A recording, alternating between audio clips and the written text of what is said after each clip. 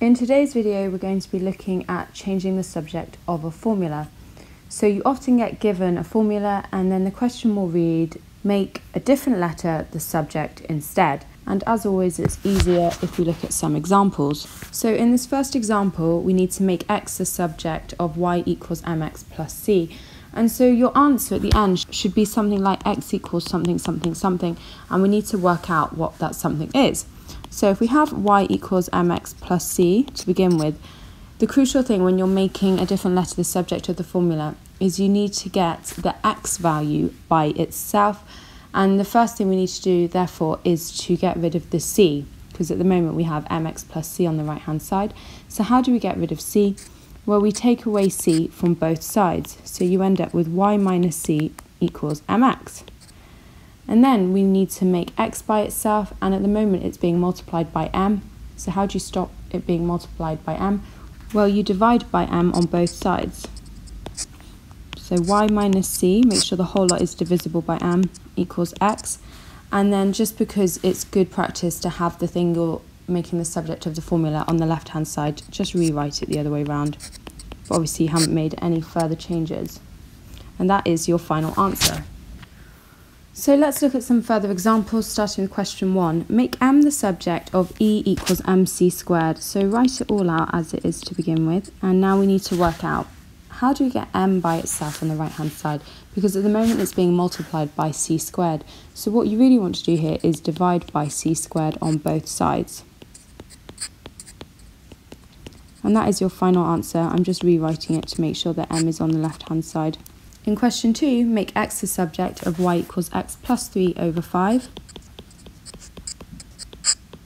So the first difficulty here is that the x is being divided by 5 and we need to remove that 5. So we need to multiply both sides by 5 to get 5y equals x plus 3. And then obviously to x by itself we need to take away 3 from both sides. And then just rewrite to make sure that x is on the left hand side, and that is your final answer. In part 3, make r the subject of v equals a third pi r squared h. This is more difficult. So we've got v equals a third pi r squared h. And look at the most disgusting bit first of all and try and get rid of that. And it's the third. We don't want it being times by third. So in order to get rid of it and make it equal 1, we effectively need to multiply third by 3. And remember, we do the same to both sides of the equal side. So let's do times by 3 as our first step to get 3v equals pi r squared h. Next issue is that r squared is being multiplied by pi and h. So to get rid of those, we need to divide by pi h. So it becomes 3v over pi h equals r squared. And then lastly, it says make r the subject. It really does mean r by itself. So you need to square root both sides and therefore you get a final answer which is quite tricky. It's the square root of 3v over pi h.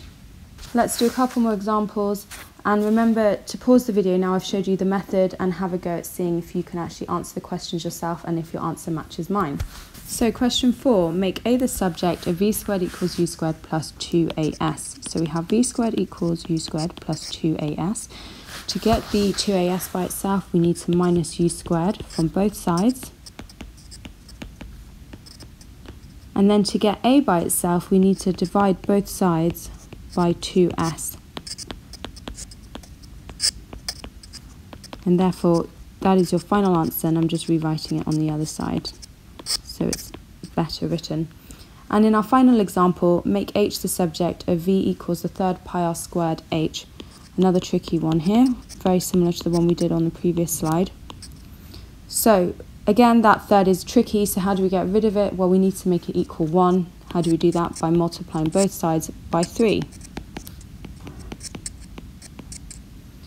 Now we need to get h by itself, and inconveniently it's being multiplied by pi r squared at the moment, so how do we get rid of it? By dividing by pi r squared.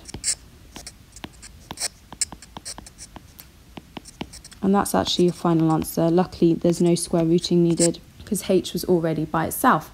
Right, I hope you found this video really helpful, guys. Don't forget to sub and like and tell your friends and teachers about my channel. I'll be back soon. Bye.